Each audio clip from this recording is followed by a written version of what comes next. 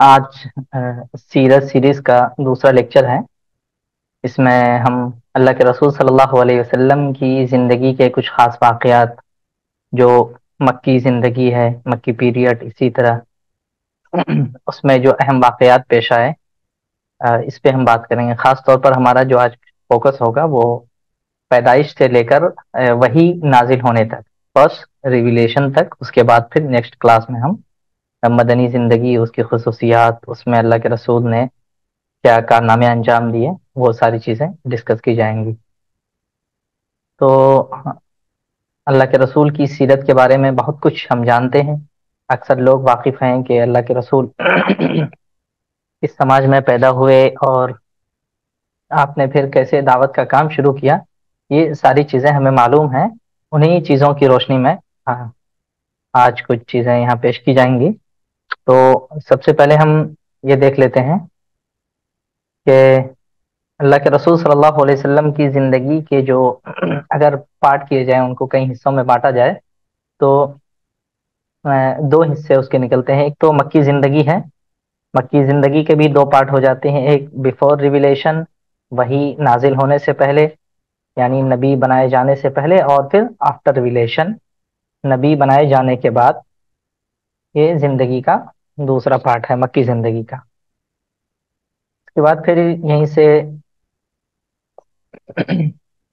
Migration का वाक़ पेश आता है। अल्लाह के रसूल सल्लल्लाहु अलैहि वसल्लम एक अरसे के बाद मदीना चले जाते हैं। ये आपकी ज़िंदगी का दूसरा अहम पार्ट है। तो आज हम सिर्फ़ पहले हिस्से पे बात करेंगे मक्की पीरियड पे, जो इस एतबार से ख़ास तौर पर हमारे आज के हिंदुस्तान के तनाज़ुब में बहुत ज़्यादा अहम है कि जिन हालात से इस वक्त हम गुजर रहे हैं, वो कई एतबार से उसी दौर से मुशाबहत रखता है जो अल्लाह के रसूल सल्लल्लाहु अलैहि वसल्लम का इब्तदाई दौर था। इसमें हम ये देखते हैं, इस दौर में ख़ास तौर पर जो मक्की ज़िंदगी है कि अल्लाह के रसूल ने जैसे ही लोगों के सामने दावत का आगाज़ किया तो पूरी अरब सोसाइटी और ख़ास तौर पर आपके कबीले के जो लोग थे क्रैश मक्का जिसे कह सकते हैं जिसे कहा जाता है उन लोगों ने आप सल्लल्लाहु अलैहि वसल्लम की सबसे ज़्यादा मुखालफत की। और फिर उन्हीं लोगों की वजह से सबसे ज़्यादा मुसलमानों का ख़ास तौर पर जो आज गुलाम थे, जिन लोगों का ताल्लुक जैसे हज़रत बिलाल हबशी हैं, और इसके अलावा दूसरे लोग हैं, उनको बहुत ज़्यादा सताया जाने लगा, इसलिए कि उनके पीछे कोई ताकत नहीं थी जो उनको बचा सके। इसी तरह अल्लाह के रसूल को भी जहनी तौर पर टॉर्चर किया जाता था और मुसलमानों को, हज़रत अबू बकर सिद्दीक को भी इतना परेशान किया गया कि आप एक मरतबा अपने इलाके को छोड़कर जाने लगे, फिर दोबारा उनको वापस लाया गया। तो इस तरह के वाकयात हमें दिखते हैं। तो आज का जो हिंदुस्तान है, ख़ास तौर पर हमारा जो मुल्क जिस हालत से दो चार है, उसमें हम देख सकते हैं कि कई चीज़ों में मुशाबहत है, इसलिए ये ज़िंदगी हमारे लिए बड़ी अहमियत रखती है। शुरू में तो पहले ये देख लेते हैं कि ये जो स्क्रीन पर आपको चीज़ें सामने हैं अर्ली लाइफ इन मक्का, अल्लाह के रसूल की जो मक्की ज़िंदगी है, ये अक्सर चीज़ें आपको शायद मालूम ही हो कि आपका नाम मोहम्मद बिन अब्दुल्ला था। इसके साथ आपका एक लकब भी था।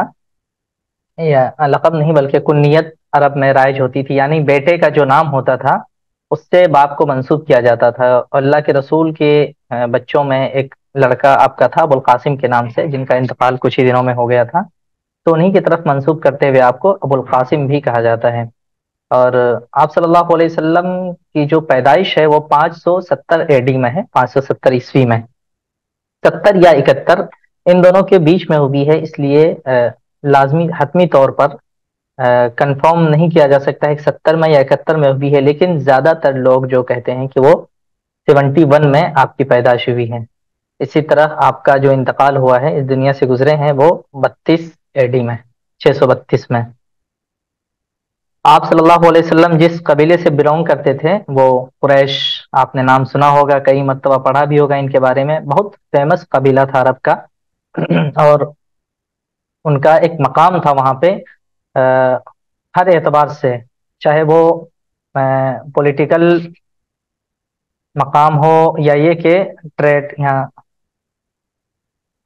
सियासी एतबार से या फिर ये कि तिजारत के लाइन से भी उन्होंने काफ़ी कुछ तरक्याँ की थी और उन्हीं के बेस पर उनके जो आसपास के लोग थे, उनकी ज़िंदगी गुजर रही थी कुरैश के जो मुआज़ीन हैं, सरदारान कुरैश हैं, वो तिजारत के लिए अलग अलग जगहों का सफ़र करते थे और फिर वो लोगों के माल को वहाँ बेचकर और फिर उनके लिए जो ज़रूरत की चीज़ें होती थी, वो लाया करते थे।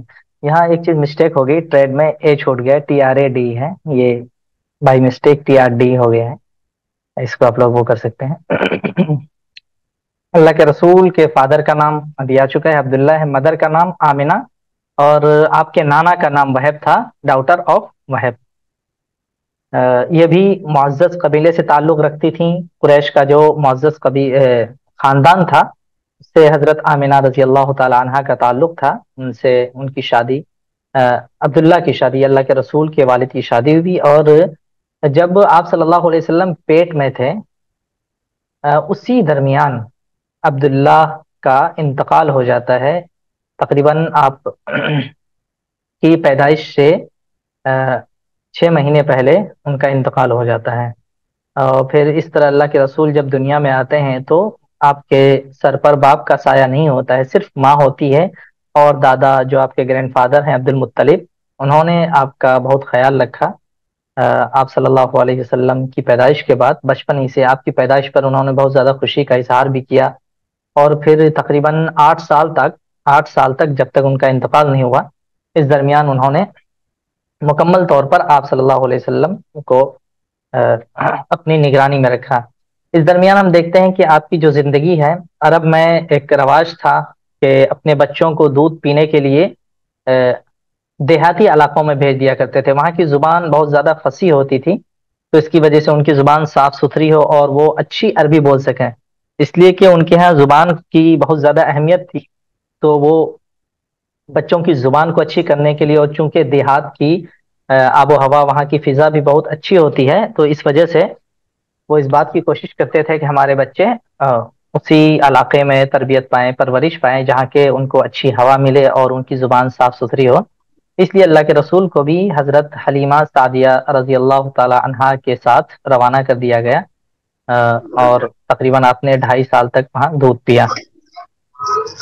आ, उसके बाद अल्लाह के रसूल की ज़िंदगी का जो दौर शुरू होता है हम देखते हैं कि तकरीबन छः साल बाद आपकी वालदा का भी इंतकाल हो जाता है। उसके बाद आप बिल्कुल अकेले हो जाते हैं।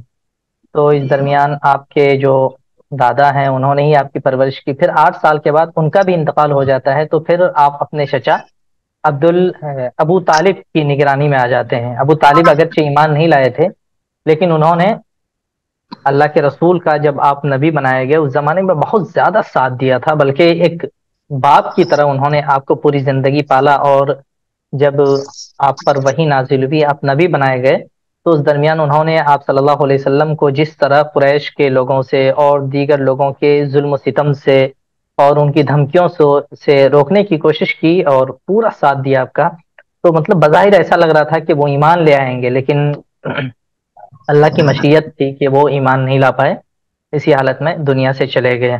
लेकिन आ, उसके बाद हम अल्लाह के रसूल की ज़िंदगी में चूँकि आपके वालिद का इंतकाल हो चुका था वालदा नहीं थी कुछ सालों में दादा का भी इंतकाल हो गया तो आपकी जो इब्तदाई ज़िंदगी गुजरी, वो अपने चचा ही की परवरिश में गुजरी।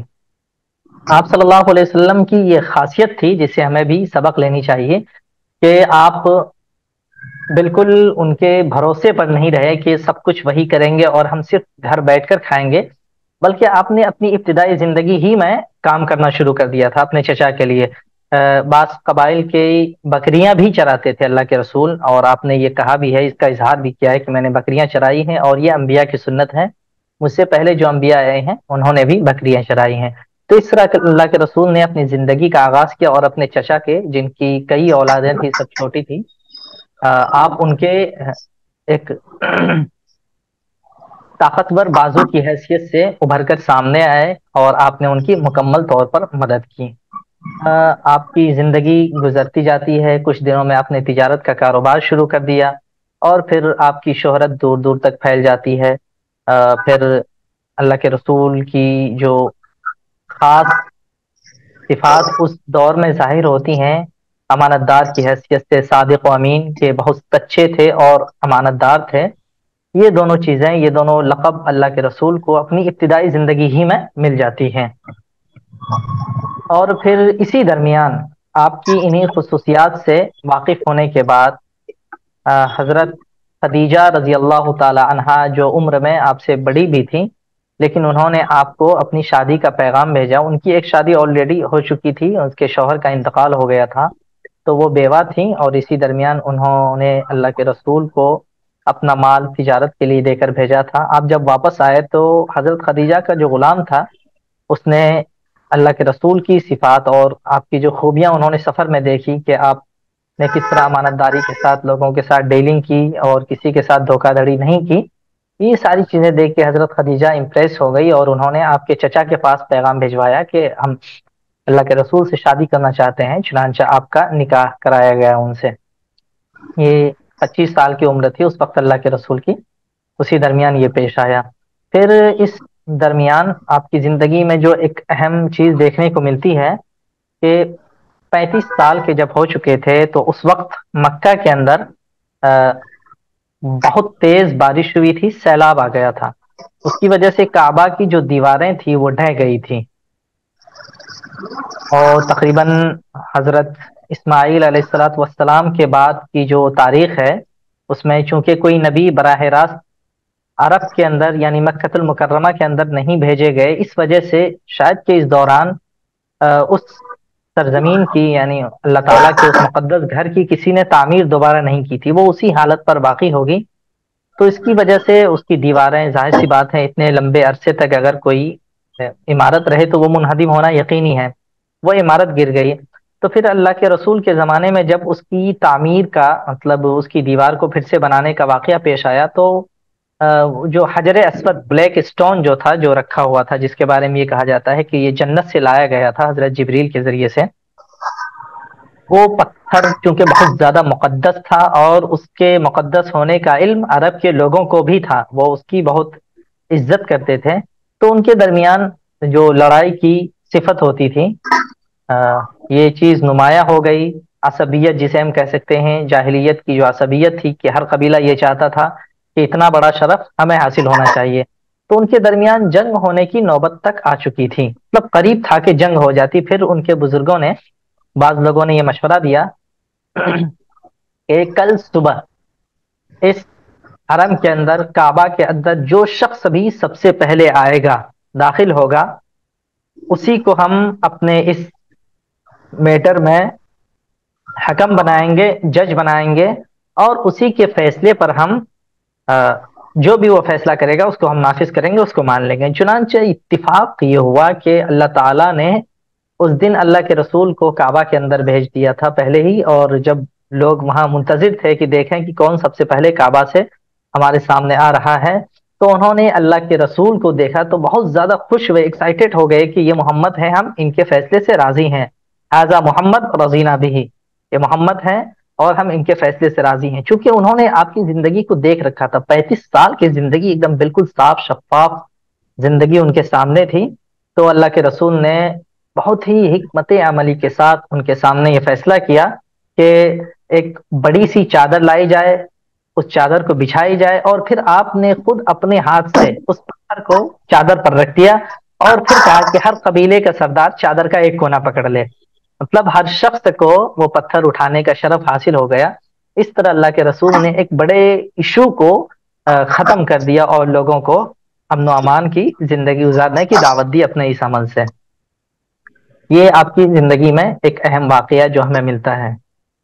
इसी तरह जब आपको नबी बनाया जाने का वक्त करीब आ गया, तकरीबन 40 साल के आप हो चुके थे एक चीज़ आपको जहन नशी रखनी है याद रखना है कि अल्लाह के रसूल ने अपनी पूरी ज़िंदगी में कभी भी किसी बुत के सामने सर नहीं झुकाया। ये बात तारीख से साबित है। किसी ने भी ऐसा नहीं लिखा है तारीख में कि अल्लाह के रसूल ने कभी आ, किसी बुत के सामने चढ़ावा चढ़ाया हो या ये कि आपने उनके सामने कभी सर झुकाया हो। कोई ऐसा वाकया पेश नहीं आया। हालाँकि उसी हरम में जिसमें अल्लाह के रसूल जाते थे, तवाफ भी क्या करते थे, जैसा कि समाज में उस वक्त राइश था, उस हरम में आप भी जाते थे, वहाँ 360 बुत रखे हुए थे, लेकिन कभी भी आपने किसी बुत के सामने अपना सर नहीं झुकाया। ये अंबिया की खसूसियात होती है कि अल्लाह ताला उनको बचपन ही से बुराइयों से दूर रखता है। आपकी ज़िंदगी में दो मरतबा ऐसा वाक़या मिलता है कि जहाँ आपने एक अमल को अंजाम देने का इरादा कर लिया था गाना सुनने का वाक़या मिलता है। तारीख़ तबरी में ये मज़कूर है कि जब मैं छोटा था अल्लाह के रसूल का कौल है कि जब मैं छोटा था और कबीले की बकरियाँ चराया करता था तो बकरियाँ जो लोग चराने के लिए जाते थे वो हर दिन घर वापस नहीं आते थे बल्कि वहीं पहाड़ के पास कहीं गुजारा कर लेते थे चूँकि लंबा रास्ता होता था तो उनका खाना वहीं पहुँचा दिया जा, जाता था। तो एक मतलब ऐसा हुआ कि आपको अपने पड़ोस के गाँव से कुछ गाने बजाने की आवाज़ सुनाई दी। आपके साथ कई सारे दोस्त थे, उन्होंने आपको जिद किया कि चलिए हमारे साथ। आप छोटे थे, चले गए।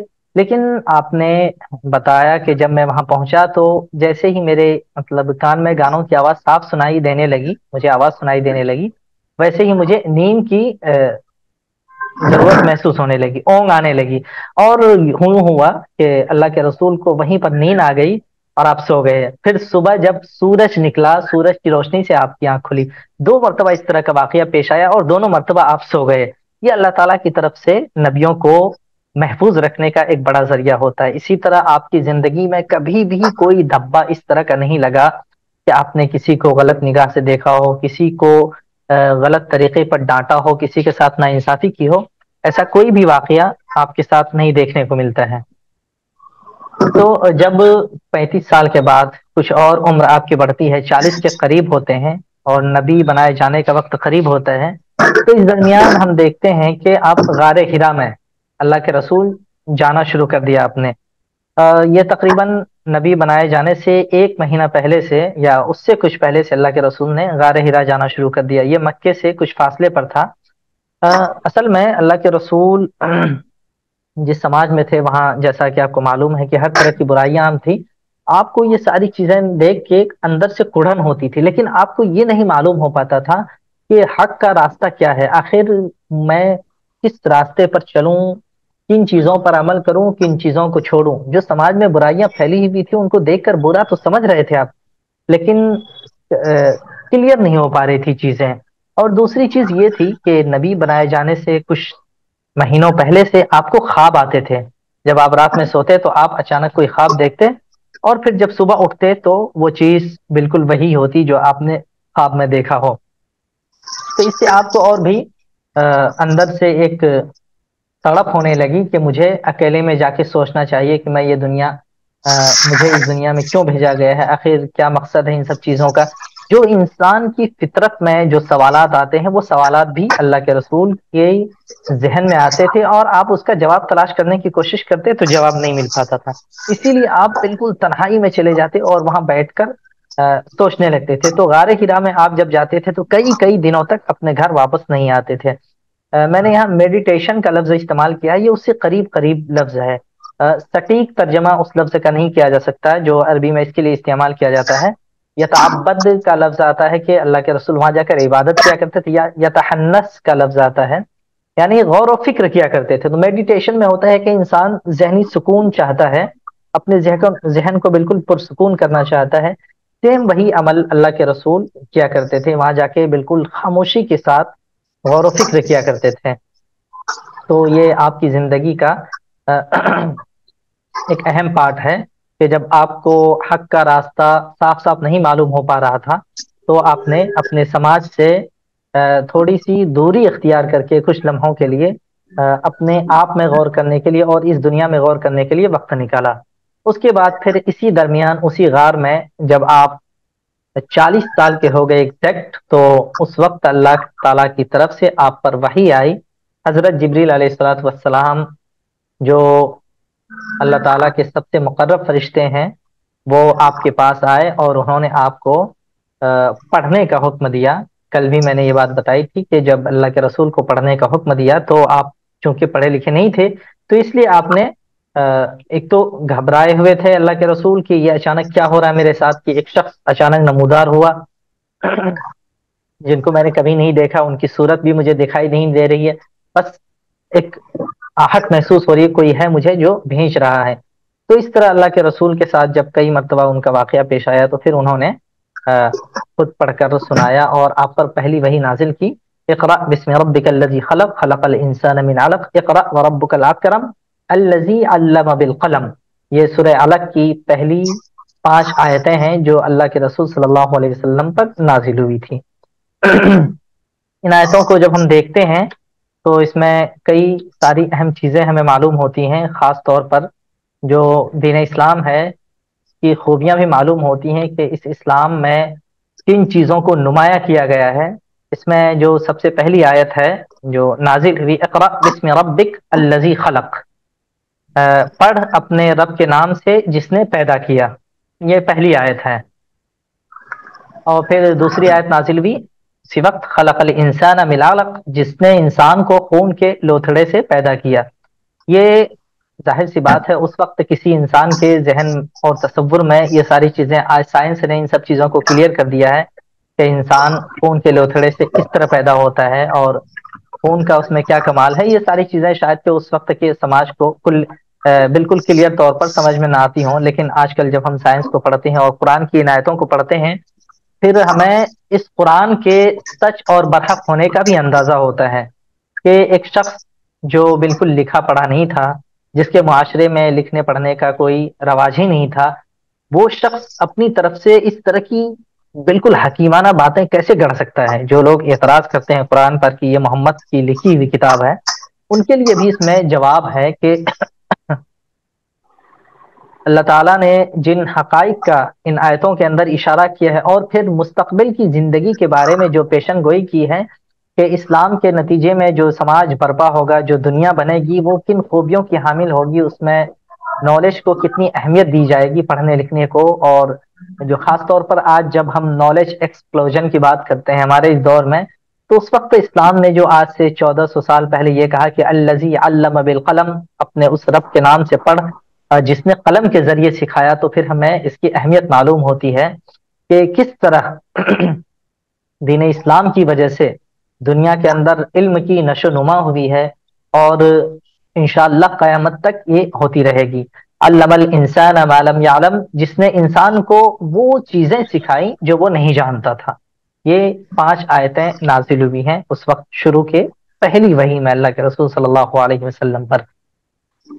इसमें हम फिर से इन आयतों पर जब गौर करते हैं, बिस्म रब्बिक अल्लजी खलक। अल्लाह के रसूल, जैसा कि अभी मैंने बताया कि जब गारे हिरा में बैठते थे आप तो आपके जहन में ये सब सवाल होता था कि दुनिया क्यों बनाई गई, मुझे क्यों पैदा किया गया? तो यहाँ उसका भी मानवी तौर पर जवाब दे दिया गया है कि उस, अपने उस रब के नाम से पढ़िए जिसने आपको पैदा किया है। जब कोई इंसान कोई चीज़ बनाता है तो ज़ाहिर सी बात है कि बिला वजह कोई चीज़ दुनिया में आज तक नहीं बनी। एक छोटी सी पेंसिल, एक कलम या एक छोटी सी बारीक से बारीक सुई जो बनाई जाती है, उसके भी बड़े काम होते हैं। किसी मकसद से, किसी गरज से बनाया जाता है। तो जब इंसान को इस सवाल का जवाब मिल जाए कि मैं यूँ ही पैदा नहीं हुआ हूँ, बल्कि मेरी पैदाइश के पीछे एक अजीम कुदरत का हाथ है, उसने मुझे एक एहतमाम के साथ पैदा किया है तो फिर उस वक्त इंसान के जहन में ये भी बात आनी चाहिए कि अगर किसी चीज़ को इतने अहतमाम से बनाया जाए तो वो चीज़ यूँ ही बेकार नहीं जा सकती। दूसरी जगह पे कहा गया है कि अपा हसिब तुम अन्नमा खलकना कुम आबसन व अन्नकुम इलैना तुरजाउन अल्लाह ताला ने इंसानों से मुखातब करते हुए कहा है कि क्या तुम्हें ये गुमान है, क्या तुम ये समझते हो कि तुम्हें यूँ ही पैदा कर दिया गया है? ये कायनात ऐसे ही पैदा कर दिया, कर दी गई है, ऐसा मुमकिन है भला कोई भी अक्लमंद इंसान इस चीज़ को एक्सेप्ट करने के लिए तैयार नहीं होगा। अल्लाह के रसूल को भी यहाँ पहली आयत के अंदर ये जवाब मिल जाता है कि मेरे रब ने, यानी एक अजीम जात ने मुझे पैदा किया है और फिर पैदा किन मरहलों से किया है, उसको एक लफ्ज अलग के ज़रिए से बता दिया, खून के लोथड़े से। अब उसके कितने मराहल होते हैं, वो सारी चीज़ें हम जानते हैं। और फिर अल्लाह ताला का और मजीद तारुफ कराया गया, इकरा, पढ़िए रब्बुकल अकरम आपका रब बहुत बड़ा करम वाला है। यानी जब उसने आपको दुनिया में भेजा है, जब वो आपकी परवरिश कर रहा है, आपके लिए रोजी का सामान मुहैया करा रहा है तो वो आप पर और भी कर्म करेगा। आप इस दुनिया में क्यों आए हैं, वो आपको ये भी बताएगा। और फिर इस दुनिया के अंदर कैसे आपको ज़िंदगी गुजारनी है कहाँ आपको अपना कदम पीछे हटा लेना है और किस रास्ते पर चलते जला चले जाना है, ये सारी चीज़ें भी वो आपको बताएगा। यानी अल्लाह के रसूल को खास तौर पर शायद के अंदर ज़ाहिर सी बात है, जो लोग अरबी समझते हैं, खास तौर पर जो अरब थे, अल्लाह के रसूल ने तो अपने बारे में ये कहा कि अना अफसहुल अरब। मैं सबसे ज़्यादा फसी अरबी जानता हूँ, क्योंकि आपकी पैदाइश खुद अरबी ज़ुबान में हुई आपकी तरबियत भी एक ऐसे माहौल में होगी जहाँ बहुत अच्छी से अच्छी ज़ुबान बोली जा सकती थी। तो आपने इन आयतों का मफहूम कितनी गहराई के साथ समझो, समझा होगा। और इस आयत के अंदर ज़ाहिर सी बात है, ये भी एक बात है कि कुरान करीम की जितनी भी आयतें नाजिल हुई हैं, उन सब के मानी लोगों ने बयान किए हैं, खुद अल्लाह के रसूल ने बयान किए हैं। लेकिन जैसे जैसे इंसान की ज़िंदगी तरक्की करती जा रही है, हर आयत के अंदर उसे कुछ ना कुछ नया मिलता है। यह कुरान का एजाज भी है कि उसके अंदर अल्लाह ताला ने ऐसी बारीकियाँ रखी हैं कि इंसान ज़िंदगी के जिस मोड़ पर जाता है, चाहे तरक्की के कितनी ही आला मंजिलें तय कर ले या जिल्लत की कितनी ही गहराई में चली जाए, उसे हर जगह कुरान ज़रूर मुखातब करता हुआ नज़र आएगा और उसे गाइड मिलती रहेगी कुरान करीम से। तो इन आयतों के अंदर अल्लाह के रसूल के जहन में जो सवालात होते थे, उनका भी जवाब दे दिया गया। और फिर ये जो आखिरी दीन अल्लाह ताला अपने रसूल के ज़रिए से भेजने वाला था। उस दीन की अहमियत को भी इन आयतों के अंदर बयान कर दिया गया कि अल्लजी अल्लम अल्लम इंसान मालम यालम। यानी इस कुरान को, इस दीन को पहली ही वही में इल्म के साथ, नॉलेज के साथ जोड़ दिया गया कि ये दीन जाहिलाना नहीं है, बल्कि इस दीन के पीछे हिकमत है और इस दीन के ज़रिए से जो नॉलेज, एक्सप्लोजन होगा, वो इंसान की इंतहा होगी। ये सारी चीज़ें इन आयतों के अंदर हमें मालूम होती है। अब हम जब मक्के की ज़िंदगी में आते हैं तो फिर हमें मालूम है कि अल्लाह के रसूल ने जब दावत का आगाज़ किया तो आपको किन मुश्किल का सामना करना पड़ा। इसकी बहुत तफसील है अल्लाह के रसूल की ज़िंदगी में। अगर एक तरफ़ से तमाम वाकयात को बयान किए जाए जो पेश आए उस वक्त मुसलमानों को जिन मरहलों से गुजरना पड़ा, और फिर उन्हें अलग अलग जगहों पर हिजरत भी करनी पड़ी बात साहबा को तो चलिए लंबा वक्त चाहिए हमें। तो यहाँ हम कुछ खास चीज़ें इशारा करेंगे कि आपने अभी सुना भी और आपको मालूम भी है ऑलरेडी कि अल्लाह के रसूल को वो लोग सादिक और अमीन कहते थे। यानी ऐसा इंसान जो कभी जिसने कभी अपनी ज़िंदगी में झूठ का एक लफ्ज अपनी ज़ुबान से नहीं निकाला और जिसने पूरी पूरी अमानत का ख्याल रखा। ये अमानत एक तो लोगों के जहन में मतलब मैंने किसी को कोई बात बताई, वो बात उसके जहन में, उसके पास अमानत है, उसकी ज़िम्मेदारी है कि वो किसी थर्ड पर्सन को शेयर ना करे। लेकिन एक अमानत जो रखी जाती है किसी के पास, कोई चीज़ मेरे पास कीमती है, मैं कहीं जा रहा हूँ, मेरे पास कोई घर नहीं है या घर है, लेकिन मुझे खतरा है कि कोई शख्स वो चीज़ वहाँ से गायब कर सकता है, उठा सकता है तो मैंने किसी ऐसे इंसान को दे दी जिस पर मुझे भरोसा है कि आप रख लीजिए।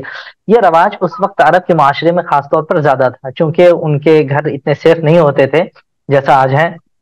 अगर उनको कहीं बाहर जाना होता था तो अपनी जो कीमती चीज़ें होती थी, वो जिन पर उनको ट्रस्ट होता था, वो उनको दे देते थे। तो अल्लाह के रसूल सल्लल्लाहु अलैहि वसल्लम की जो ये अमानत की सिफत है, ये इसी पस मंजर में है कि आपके जानने वाले जितने भी लोग होते थे, वो सब आपके पास अमानतें, अपनी कीमती चीज़ें रखते थे। यहाँ तक कि हमें ये भी मालूम होता है तारीख से कि जब मुसलमानों उन्होंने आपको खूब सताया और आप मदीने की तरफ़ हिजरत करने के लिए रवाना हुए तो उस वक्त भी, उस हालत में भी, जबकि पूरा अरब का मुआशरा जो था, उनमें से अक्सर लोग आपके मुखालिफ थे उस वक्त भी वही मुखालिफिन आपके पास अमानत रखे कर, रखा करते थे। हज़रत अली को आपने ये ज़िम्मेदारी दी थी कि जब मैं मदीना चला जाऊँ तो तुम ये सारी अमानतें लोगों को वापस कर देना और फिर तुम बाद में मेरे पास आ जाना। तो इन तमाम चीज़ों के बावजूद एक शख्स है जिस पर पूरा समाज भरोसा करता है और उसे पूरे समाज को यकीन है कि इसने अपनी ज़िंदगी में कभी कोई झूठ का लफ्ज नहीं निकाला अपनी ज़ुबान से इसने कभी किसी को गलत निगाह से नहीं देखा किसी पर जुल्म नहीं किया। वही शख्स जब लोगों के सामने ऐलान करता है कि कुलू ए लोगो, एक अल्लाह का एक अल्लाह की गवाही दो, एक अल्लाह का पैगाम अपने दिल में बसा लो तो पूरा समाज उस इंसान पर लानत बरसाता है और कहता है कि मोहम्मद, तू ये कौन सी नई बातें गड़गड़ ला रहा है? हालाँकि उसी वक्त का ये वाक़ है कि जब आपने पहली मरतबा सफ़ा पहाड़ी पर चढ़कर लोगों को जमा किया तो उनसे आपने पहले एक सवाल पूछा। वो सवाल ये था कि, लोगों, बताओ अगर मैं ये कहूँ कि इस पहाड़ी के पीछे एक लश्कर है, एक फौज है, जो तुम पर हमला करना चाहता है तो क्या तुम मेरी बात मान लोगे? तो लोगों ने कहा, क्यों नहीं? आपने कभी झूठ नहीं बोला, आप पर हम भरोसा करते हैं, आप अमानतदार हैं। सादिक अमीन जितनी भी खूबियाँ थी आपकी, वो सारी उन लोगों ने गिनाई। फिर आपने लोगों को कहा कि, अब मेरी बात सुनो। मैं अपने पीछे, तुम्हारे पीछे जिस हालत में तुम अभी हो रब के अजाब को देख रहा हूँ, जहन्नम की भटकती हुई आग को देख रहा हूँ। अब मैं तुम्हें बता रहा हूँ कि उस आग से बचने का क्या तरीका है। अब तुम मेरी बात कबूल कर लो। अल्लाह के रसूल ने जैसे ये बात कही, सारे लोग भड़क गए और बहुत सारे लोगों ने उनमें खास तौर पर अबू लहब का नाम आता है, जिसके नाम से पूरी सूरत नाजिल हुई, जिस पर उसको लानत की गई। उसने अल्लाह के रसूल को बहुत ज़्यादा मलामत की और लोगों के सामने जाकर आपकी बुराइयाँ भी की और आपकी दुश्मनी में और मुखालफत में हर हद से गुजर गया वो बंदा। तो ये सवाल आता है कि आप पर ये इल्ज़ाम क्यों लगाए गए? जबकि वो आपको जानते थे, सारी चीज़ें उनके सामने थी। और इल्ज़ाम उनके क्या क्या होते थे? तो जब हम इस चीज़ को कुरान करीम के अंदर पढ़ते हैं तो हँसी भी आती है कई मरतबा कि खुद वो अरब जो ज़ुबान की अहमियत से वाकिफ थे ज़ुबान की खूबी उन्हें मालूम थी और कुरान करीम जिस ज़ुबान में नासिल हो रहा था उसका, उस ज़ुबान के तोड़ का उनके पास कोई जवाब नहीं होता था। फिर भी जब उनके पास कुछ नहीं होता तो कुछ ना होने के बजाय कुछ होना ज़रूरी होता है। इसलिए मतलब अपनी बात को मनवाने के लिए और लोगों को अल्लाह के रसूल की दावत से रोकने के लिए, गुमराह करने के लिए वो आप पर इल्ज़ाम गढ़ते थे।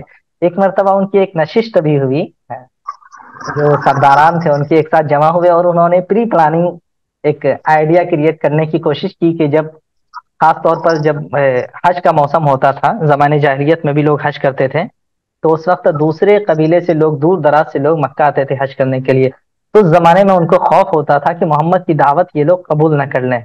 तो उनको रोकने का तरीका क्या हो? तो उनकी एक मीटिंग बुलाई गई, उस मीटिंग में शैतान भी था। ये तारीख से मालूम होता है। तो उन्होंने एक दूसरे की राय जानने की कोशिश की कि हम उनको क्या कहें। मोहम्मद के बारे में क्या कहें? ये झूठा है, ये मक्कार है, या ये लोगों को धोखा दे रहा है? उस पर किस तरह का इल्ज़ाम लगाया जाना चाहिए? ये, इससे हमें ये भी अंदाज़ा होता है कि अल्लाह के रसूल की शख्सियत, आपकी ज़िंदगी, उनके सामने किस तरह साफ़ सुथरी और बेदाग थी कि उनको एक इल्ज़ाम लगाने के लिए भी पूरी कम्युनिटी से मशवरा लेना पड़ रहा था कि कौन सा इल्ज़ाम ऐसा हो सकता है जो आप पर फिट आ जाए।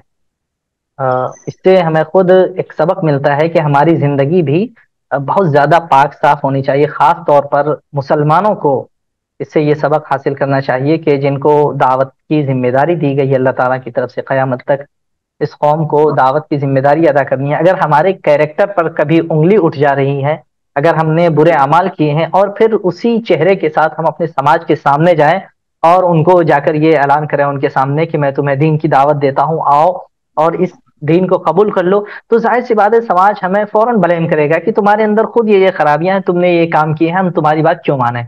लेकिन अल्लाह के रसूल की ज़िंदगी ऐसी नहीं थी, बहुत साफ़ सुथरी ज़िंदगी थी। तो खास तौर पर जो उनके इल्ज़ाम होते थे, कुरान करीम ने भी उसको बयान किया है, एक उनका मशहूर इल्ज़ाम जो तमाम अंबिया के साथ रहा है कि ये जादूगर है। ये बड़ा सीधा सादा सा इल्ज़ाम होता है और इससे लोगों को बहकाया जा सकता है।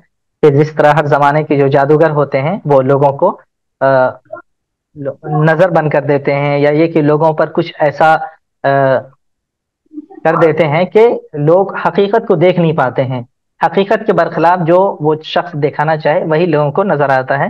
तो मोहम्मद भी अपने कलाम से लोगों पर जादू कर देता है। इसलिए इसका जो कुरान जिस कुरान के ये अल्लाह ताला की तरफ़ से होने का दावा कर रहा है इसका हम जवाब नहीं दे पा रहे हैं। इसी तरह वो कभी ये कहते थे काहिन। काहिन अरब के समाज में राइश था। यानी ऐसा शख्स जो लोगों को गैब की बातें बताए। कुछ लोग होते हैं जो शैतानी अमल करते हैं तो उनके पास शैतान होता है। वह शैतान को अपने कंट्रोल में करके कुछ चीज़ें शैतान से मालूम कर लेता है और लोगों को बेवकूफ़ बनाने की कोशिश करता है। आजकल भी हमारे समाज में इस तरह की चीज़ें देखने को मिलती हैं। तो एक दूसरा इल्ज़ाम उनका ये था और तीसरा ये था कि ये पागल हो चुका है ये शख्स। इसका ये अपना जहनी तवाजन खो चुका है। ये उनके इल्ज़ाम थे जो बड़े बड़े कुरान ने नकल किए हैं। इसके अलावा कभी झूठा भी कहा अल्लाह के रसूल को लेकिन फिर आ, मतलब उनकी पूरी कम्युनिटी इस पर मुतफिक नहीं हो पाती थी इन इल्ज़ाम पर। वो जिस नशिस्त का मैंने तस्करा किया कि उन्होंने एक कमेटी बुलाई थी इसके लिए मशवरे के लिए उस कमेटी में कोई भी ऐसी बात नहीं आ पाती है जिस पर उनका इत्तिफाक हो सके। ये अल्लाह के रसूल की ज़िंदगी की जो शफाफियत थी उसका अंदाज़ा होता है इससे। अब अगर हम देखें कि ये इल्ज़ाम वो क्यों लगाते थे अल्लाह के रसूल पर? हालाँकि उनके सामने हक वाज था और तारीख में कई लोगों के वाकयात भी नकल किए गए हैं। ख़ास तौर पर अबू जहल जो जिसकी मौत गजवाए उहद, गजवाए बद्र में हुई है, पहली जंग जो मुसलमानों और काफिरों के दरमियान हुई थी, उसमें उसे कत्ल किया गया। वो बहुत बड़ा मुखालिफ था अल्लाह के रसूल का। तो जब आपस में उनकी बातें होती थी, खुद जब काफिरों की मीटिंग होती थी तो वो खुद इस बात का इकरार करते थे कि बखुदा हमें यकीन है कि मोहम्मद जिस दीन की दावत दे रहा है, वो बिल्कुल बरहक है। उसमें किसी तरह की कोई कमी नहीं है। लेकिन अगर हमने उसकी बात मान ली तो हमारी सरदारी चली जाएगी। हम जिस तरह अभी लोगों पर राज कर रहे हैं, पूरा अरब हमारे सामने झुकता है, हमें इसका मौका नहीं मिलेगा। ये सरदारी हमारी हाथ से चली जाएगी। तो पहला जो बुनियादी सबब होता था और पिछली कौमों में भी जो रहा है खास तौर पर हज़रत मूसा वसलाम की ज़िंदगी जब हम पढ़ते हैं फिर के वाक़े को देखते हैं तो वहाँ भी फिर को यह दावा था कि अना रब आला कि इंसानों का सबसे बड़ा रब मैं हूँ, इसलिए कि मेरे पास ताकत है कुत है, सारी चीज़ें हैं।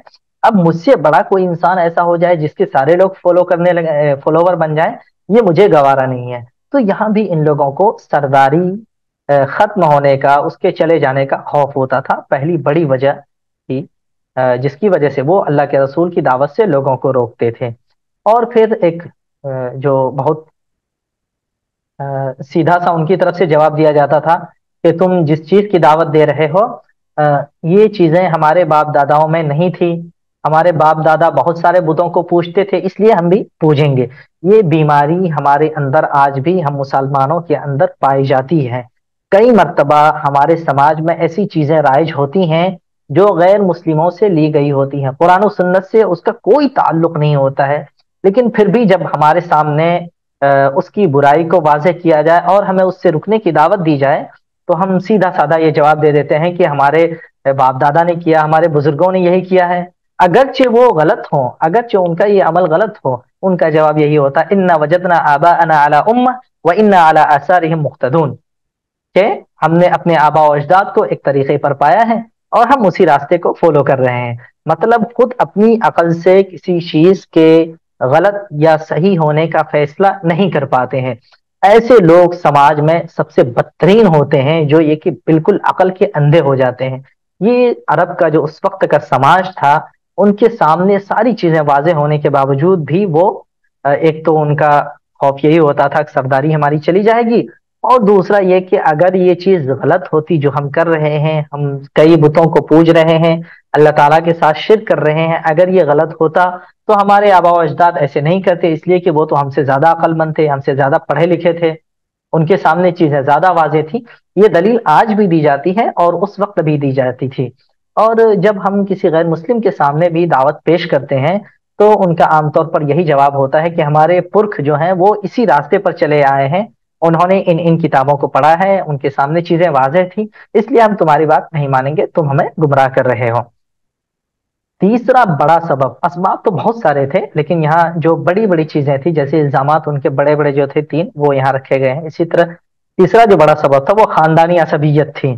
कुरैश में भी कई सारे कबीले थे, और उन पे आपस में अगरचे जब किसी थर्ड पर्सन से उनकी लड़ाई होती थी तो वो एक साथ हो जाते थे और एक साथ मिलकर अब मुकाबला करते थे। लेकिन खुद उनकी आपसी चपकलिश भी होती थी, जिस तरह के दो भाइयों के अंदर होती हैं।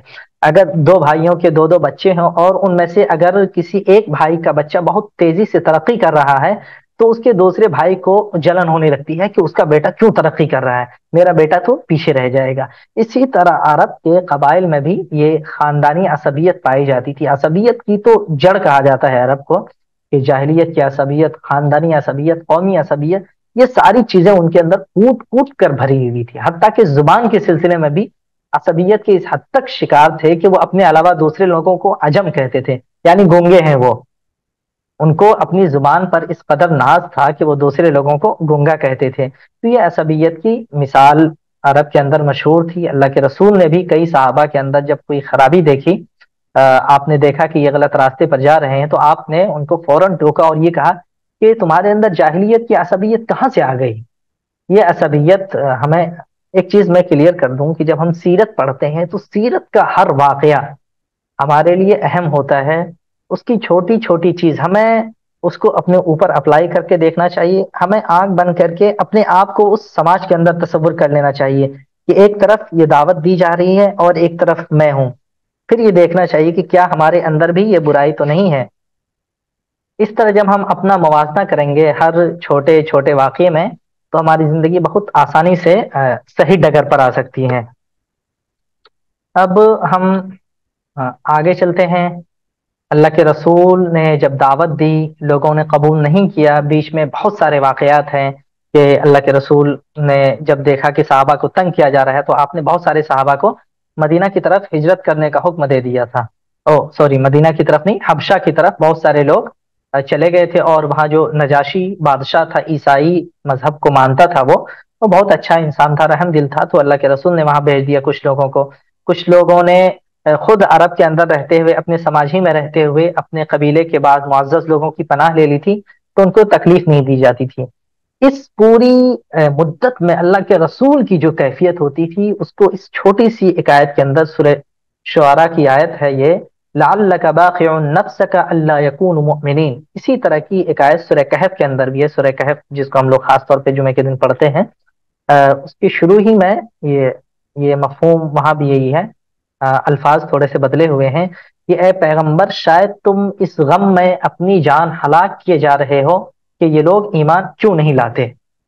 यानी अल्लाह के रसूल के सामने सारी चीज़ें वाजे थी कि वो किस हद तक गुमराही में पड़े हुए हैं। एक मरतबा आपने बयान भी किया कि मेरी हैसियत तुम्हारे दरमियान ऐसे ही है जैसे एक जगह आग जली हुई है और परवाने उस पर गिरे जा रहे हैं। ये जो परवाने होते हैं, उनकी खासियत होती है जहाँ भी वो रोशनी देखते हैं, वो उससे चिपक जाते हैं जाकर। अगरचे उसका अंजाम तबाही होता है कि वो फ़ौरन मर जाते हैं। अगर वो बल्ब से टकरा जाए या उससे चिपक जाए तो उसकी गर्मी की वजह से फ़ौरन मर जाते हैं और फ़ौरन उसका पूरा ढेर लग जाता है। लेकिन उसकी ये खसूसियत होती है कि वो उसके अंदर चिपका ही जाता है। यही हालत तुम्हारी है कि मैं तुम्हें तुम्हारी कमर पकड़ पकड़ कर रोक रहा हूँ, लेकिन इसके बावजूद तुम आग के गड्ढे में गिरे जा रहे हो। अल्लाह के रसूल बहुत ज़्यादा कुड़ते थे। इसी कुढ़न का आलम था कि अल्लाह के अल्लाह ताला की तरफ़ से आपको मेराज की तरफ़ भी बुलाया जाता है। शब मेराज का जो वाक़ है, कि अल्लाह ताला ने आपको आसमान पर बुलाया और वहाँ तसल्ली दी और आप पर पाँच वक्त की नमाजें फ़र्ज़ हुई। ये सब चीज़ें इसीलिए थी और इस आयत के अंदर देख ही सकते हैं हम कि अल्लाह ताला ने खुद किस अंदाज में आपकी इस कैफियत को बयान किया है कि ऐसा लग रहा है ए पैगंबर ऐसा लग रहा है कि अगर ये लोग ईमान नहीं लाए तो आप अपने आप को हलाक कर देंगे। हालाँकि नबी की ज़िम्मेदारी सिर्फ़ दावत को पहुँचा देने की होती है। अगर पहुँचाने के बाद भी, हुज्जत तमाम हो जाने के बाद भी कोई शख्स कबूल नहीं कर रहा है तो इसका मुहासबा उसे नहीं किया जाएगा। लेकिन चूँकि नबी को अंजाम पता था कि इनका अंजाम क्या होने वाला है, जो चीज़ें वो देख रहा था, वो समाज के अंदर लोगों की निगाहों से ओझल थी, इसलिए अल्लाह के रसूल बहुत ज़्यादा कुड़ते थे। इस आयत पर हमें सोचने की ज़रूरत है थोड़ी देर के हमारी ज़िंदगी कैसी गुजर रही है। हम जिस समाज में गुजर रहे हैं, हमारी तादाद 20 परसेंट अभी हम जिस मुल्क में हैं 20 परसेंट बताई जाती है। मतलब 80 फ़ीसद वो लोग हैं जो एक अल्लाह को नहीं मानते हैं। लेकिन फिर भी हम इस तरह अमन अमान और चैन सुकून से ज़िंदगी गुजार रहे होते हैं, जैसे कि सब कुछ ठीक चल रहा है। मतलब हमें दूसरों की कोई परवाह नहीं है।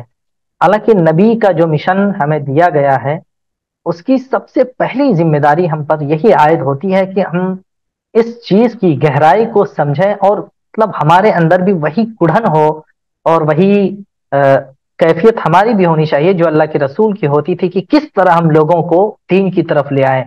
जो रिवायतों में हम पढ़ते हैं कि अल्लाह के रसूल एक शख्स के पास दस दस, बीस बीस मरतबा जाते थे।